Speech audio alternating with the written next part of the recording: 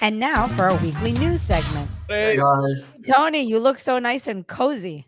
Thank you. Um, Where are so- you? If you want to tell people or don't tell people. yeah, I mean it's it's you know I have my name in the Twitter handle, so they can just find whatever I do on the internet. Where are you, Tony? I'm in uh, Romania, so it's uh it's a bit cold as you can see. yeah, I can see that. Is it snowing? Or is there snow on the ground? Mm, No, no, no. No, no. Not But I'm also cold, and it's a funny story, and I'll be fast, and then we'll get into it. So I bought a pre-workout, okay. and I was like, yeah, yeah, sure, I'll, I'll try, you know, because I'm a, uh, I've never tried this stuff before. And um, this is the second night with no sleep. Oh my goodness. Zero. Why would Wow. you do that? You do not need a, a pre-workout. I thing, man. know. It's I know. you're- yeah. What are you doing? No, yeah, yeah, no. So I'm, I'm not taking that anymore. It's What what is it? Just like a ton of caffeine? I mean, where's the uh um, yeah, it's it's the equivalent of four Red Bulls. Oh my goodness, bro. Yeah, what were so you gonna do? What was your workout gonna be? You're gonna go climb the Himalayas? I mean, what were you gonna yes. That was because I don't drink coffee. I don't, you know, so I didn't know. So he says 300 milligrams of caffeine, 350 of taurine, beta alanine. So I was like, all right, Jesus, man. Wow. Go You go, go smoke easy. some weed. Go smoke some weed. You gotta even I- it out. I don't smoke weed, and I thought, you know what? Maybe Let's I should do try- that. Yeah, You may yeah, have no. I need to, I need to like flush it out of my system first. So OMG. All right. Well, All right, ho- let's, hopefully you uh, don't pass out during the news. Hopefully it doesn't Oh just hit you all at once. But like, yeah, no, uh, war on the bill. All right, let's let's let's Take it away, on. Tony. Yep, go ahead. Share your right, screen, so let's friend. get into it. Um, all right, guys. Um, so if you're on Twitter Spaces, you can join us on on YouTube, so you can actually see uh, the visuals. Um, so before we start, everybody, hands up in a space, comment on YouTube. Let's get numbers up, okay? And uh, without further ado, let's get into it. The first thing that I want to mention is Bitcoin Magazine and how when there's something positive, I guess, for Bitcoin, they tend to just throw the word Bitcoin, and then if it's not positive anymore, they take it away. And this one, they said the EC, ECB, which is the European Central Bank, chose Bitcoin's encryption standard for its CBDC prototype. It's not Bitcoin's. Bitcoin is using it, but it's not Bitcoin. Bitcoin's right. It's SHA-256. Um, so there's nothing much to this story specifically, but I just wanted to mention how funny it is that they just throw the Mm, stuff. Yeah, of course, of course. Yeah, the, the- they love taking credit. It's fine. Yeah, it's fine, but Can't blame 'em for it. it's not bitcoins. But you know, I just wanted to mention that. Um, but this this week has been crazy. We have a lot of bills. We have a lot of things uh, going on, and um, let's talk about probably the the biggest thing, which is um, Warren's new um, digital assets anti-money laundering bill. The proposal, it's it's crazy. Like it's it's crazy. So if I read and I'm gonna be shocked, it's because I'm shocked every every single time I read it. It's, it's insane. So the proposal will bring know your customer rules to crypto participants, such as wallet providers and miners, right? And if we scroll down below, so Elizabeth Warren, uh, which refused to hop on the show, we tried. Um, um, she's introducing a bill to crack down on money laundering and financing of terrorists and rogue nations via cryptocurrency. It's always we've had that, and we'll talk about it in a bit. Um, there's um, there's been the FTX collapse and other collapses, and they use this as a very good excuse to protect us, right? And, Right. and the thing is, it's not a good excuse though. Like it doesn't even make sense. it doesn't know, make like, sense. This was FTX was fraud, right? And then Mhm. this is about uh, money laundering. Like it's you know completely two unrelated things. Like oh my god, FTX collapsed. We need to to save the world from fraud. So we're going to introduce a bill that takes away people's privacy when they use crypto. like No, how, no, does that Yeah. even be solve the problem? Uh, exactly. Disgusting. And not only because we'll talk about how they're gonna do it to the euro as well, and Mhm. the dollar eventually. So, not, so not only that, um, someone said it should be know your banks and politicians. Ho ho! No, actually, there's a new bill on that too. So stay tuned in a bit. Um, so if this becomes a law, um, the Digital Asset Anti-Money Laundering Act will bring know your customer KYC rules to crypto participants such as wallet providers and miners, and prohibit financial institutions from transacting with digital asset mixers, which are tools designed to obscure the origin of, of funds. They really don't want you to have any privacy whatsoever. And we've talked we've talked about it in, in the last episode how they don't want the digital euro to have uh, the anonymity of cash. They don't want that. Right, um, and, and in this scenario, they could even potentially categorize something like something like Monero as a mixer, right? So like, you're not allowed to move from Bitcoin into into Monero to quote unquote wash your wash your coins. Yep, exactly. And I think uh, one article because I'm like free. Yeah, I mean, if, if this bill passed, crypto would. I mean, the it, crypto would obviously survive, but the attack would be insane. I mean. Uh, yeah it's not going to happen. Um, I, I don't think. Yeah, you know, I don't. I don't see there being the political will at all, like for for things to really start to move in this direction. But mm-hmm. really interesting that she's going for it. Um, really scary because really yeah. showing her cards, right? Mm-hmm. Um, she's she's obviously in bed with the traditional banking system. Yeah, one hundred percent. And um, it also says that the act would also allow the Financial Crimes Enforcement Network to implement a proposed rule requiring institutions to report certain transactions involving unhosted wallets. That um, wallets where the user has complete control over the contents rather than relying on an exchange or other third party. So you are trying to protect us from FTX-like exchanges, but you are pushing us away from self-custody, which is protecting us from the thing that you are trying to protect us from. Right? Makes absolutely no sense. It doesn't make sense. And how would they even, you know, enforce this? How would wallets even be able to do this? Right? Like, you know, how how would I mean, basically, they'd be saying something like a cake wallet would have to KYC AML their users. Yeah, that yeah yeah. I was thinking about Vik actually when I was reading this article. Um, yeah, maybe so, uh, maybe somebody uh, from Cake will jump in later in the chat talk about mm-hmm. this. Uh, someone said in the comments, because I'm paying attention to the YouTube uh, comments as well. I wonder why they don't want us to have privacy, but they do have. Um, well, because they want uh, they they want control. Obviously, they're trying to. Makes no sense, right? It doesn't make any sense. You're right. It doesn't make any sense. And then I have um, two more articles on this, um, and then we'll we'll skip ahead. Uh, but yeah, it requires devs to register identity and obtain a license, censor, and surveil users, bans privacy tools. And so I'll just read this part. Identify and record the personal information of every person who uses their software or sends transactions over their internet-connected computers. Develop risk cali calibrated AML programs that block persons from using their software or network for throughput if they suspect those people are moving funds related to crime. And file reports about their users without a warrant government request or probable cause as the trigger. this is crazy. Yeah. Literally declaring war on on crypto. On crypto and just uh, privacy in general, and then on uh, privacy, which is you know a vital aspect of true crypto. It's no longer like yeah. crypto would be completely defanged if this bill were to pass and it were somehow implemented, and you know, uh, these all these companies went along with it. I mean, the and if people continue to use crypto in this fashion, it would no longer be crypto; it'd be Venmo. Essentially, yeah. Essentially, Venmo on a large scale. If it's Bitcoin centralized, uh, and we'll talk about that also. Um, I think I have something on it, but yeah.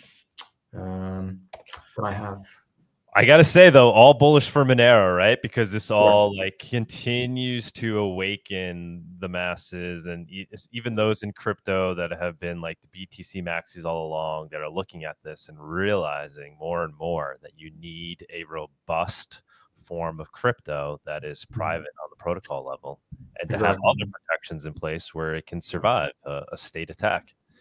Yeah, exactly. Yeah, yeah. Um, I agree. So let's see. Give me one second. Yeah, this is just um, not article, more in depth of uh, what we talked. Um, but it also says, additionally, every FI, including traditional FIs like banks, custodial crypto FIs, and uh, these newly classified crypto infrastructures FIs would be banned from making any transactions involving privacy tools. And they did mention uh, preserving cryptocurrencies, Zcash, Monero, etc. Right. Right. And all these things would, be considered financial institutions, is what they're saying, and they would have to abide by the banking rules. So, yes, wallet would be considered a financial institution. It's insane. It's insane, and all because uh, FTX, right? Thanks, Sam. God, yeah, makes sense. Whoa, thanks. Yeah, whatever. I mean, they, they, they were going to move in this direction anyway. So it was FTX or something else. I mean, they're they're just looking for you know the the impetus to do it, right? The the political will, the energy. Um, so if it wasn't FTX, it'd be something else. So let's, let's rip off that band aid. Exactly. Exactly.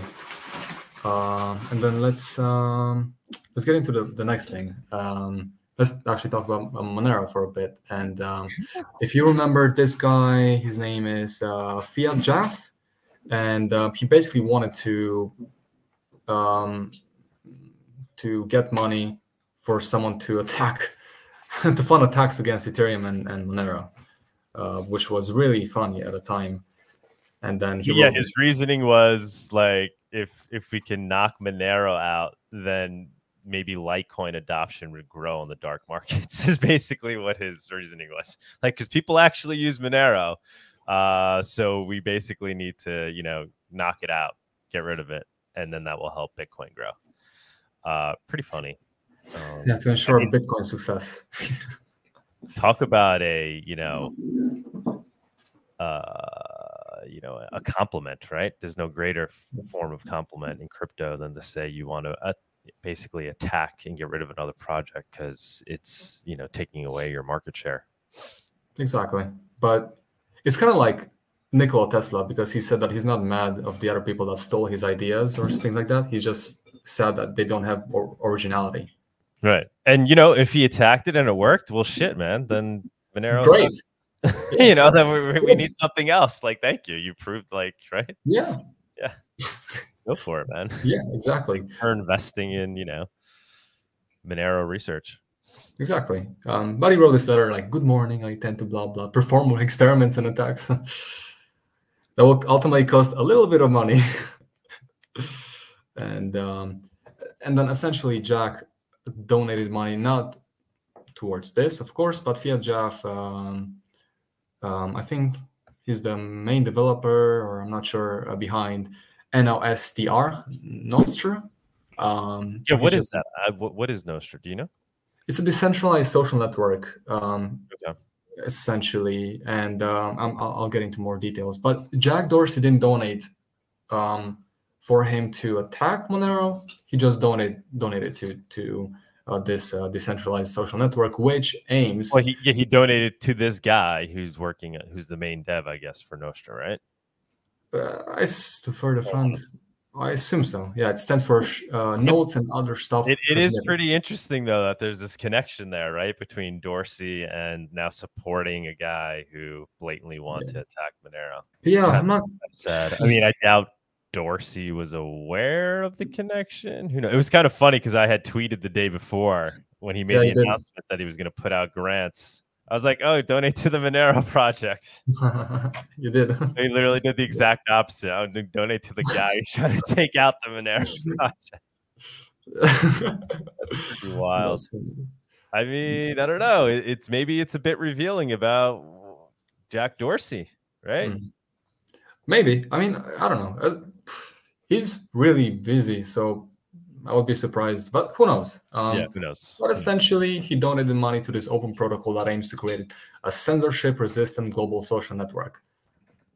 Um, so yeah, interesting. I don't know. So Jack Dorsey is giving out money, uh, but yeah, Jack, please like donate to Monero. Yeah, let, let me give money to build something that doesn't exist in the, like yet. That's pie in the sky, as opposed to just tweeting something positive about Monero. It'd be yeah. more, so much more impactful than the 14 BTC you just donated to this project. All you have to do yeah. is not even talk, just talk openly about Monero. Discuss it. Come discuss yeah. it Twitter. exactly. Talk about it as this. You know, you're you're you're such a believer in these. You know, these new forms of censorship resistant decentralized tech. Here's Monero. Just come talk about it. You'll have an Exactly. amazing positive impact on the ecosystem. Exactly. Oh, check this out. He put hashtag Nostra in his description. Well, he's he's sold. All right. whatever this thing is. Yeah. Um, so hopefully one day, I, I think it's important because given his position and he's obviously interested in in, uh, in Bitcoin and you know censorship resistance. If you're so interested, why don't you talk about one of the best tools? Like make it. But I don't know. Um, what I do want to talk about over quick is SBF and the fact that the day before he was going to testify in Congress, they just arrested him. Yeah. crazy Um, timing. It's crazy. Um, so let's see. Before he was arrested Monday in the Bahamas, a disgraced, disgraced FTX founder and former CEO Sam Bankman-Fried was planning to testify before Congress on Tuesday about the dramatic collapse of his cryptocurrency um, exchange. Um, they've actually published the crypto uh, Sam's planned testimony as much as his much anticipated congressional appearance is now unlikely, and um, Bankman is reportedly being held in custody, awaiting likely ex- extradition to the US, where he is expected to face criminal charges. And if we are to look in the testimony, I think it's um, kind of hilarious. Can you just imagine him saying that in, in Congress? I would like to start by formally stating under oath I fucked up. yeah, I saw that, I know. How can you- how can you say that, uh, like in front of Congress? You know, it's really funny. I know that it doesn't mean part of much. him, say like. I feel like At part of he him, like, I feel like this guy really does just doesn't give a shit. Like he really thinks like ultimately he's gonna some get away get away with it to some degree. He's gonna go to jail, but I don't think it's gonna be that bad. I don't think so. I But mean, look what like, they did to Ross, man. I know. That's They- pretty depressing. Double life sentence, right? yeah, yeah. I mean, FTX, uh, he's not gonna get anything, anything like that. no, So- no, and and he just doesn't. He just he, he knows. He knows he's can kind of like get away with it. Like, but Yeah. it's how can you open like that? You know, like you might say my honor, you know, blah blah blah, and then ultimately you say sorry, not I fucked up. okay, Fuck up. I mean, his whole, whole strategy is to make it seem like he was not willful at all, and it was just purely negligence. yes, And you know. Like honestly, might as well start with the uh, one and then dot what. Mm. You know, like he posted on Twitter.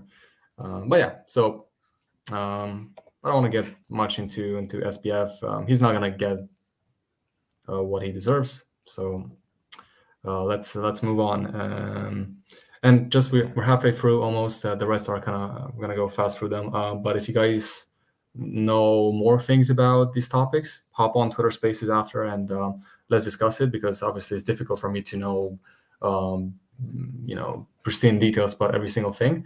And I also want to thank everybody that sends me uh, news. I really appreciate it because people tag me now. They say, "How we should talk about this and that," and um awesome. nice. makes it easier in case. Uh, yeah. So keep it up, guys. Thank you so much. Thank you, people.